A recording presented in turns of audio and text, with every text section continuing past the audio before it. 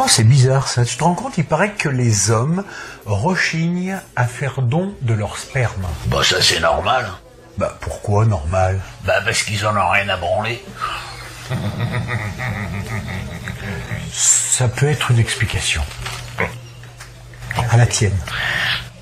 Elle te dit merci. À la tienne aussi. Thank you.